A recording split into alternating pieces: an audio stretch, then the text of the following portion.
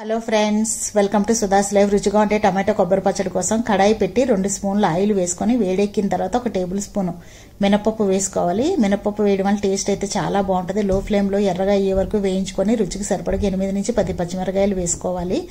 మగ్గిన తర్వాత ఒక రెండు పెద్ద సైజు టమాటోలు కట్ చేసుకొని వేసుకొని రుచికి సరిపడగా ఉప్పు వేసుకొని రెండు నిమిషాల పాటు బాగా కలుపుకోవాలి. టమాటాలు బాగా మగ్గేదానికి మూత పెట్టుకొని ఉడికించుకోవాలి. ఈ పచ్చడి ఇడ్లీ దోశ చపాతీ రైసు గారెల్లో కూడా చాలా చాలా బాగుంటుంది. తప్పనిసరిగా మీరు ట్రై చేయండి.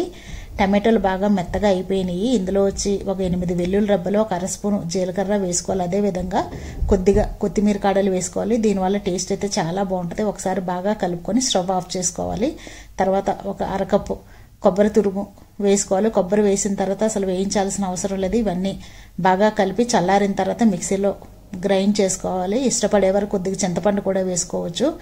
అంతేనండి టేస్టీగా ఉంటే పచ్చడి రెడీ అయింది.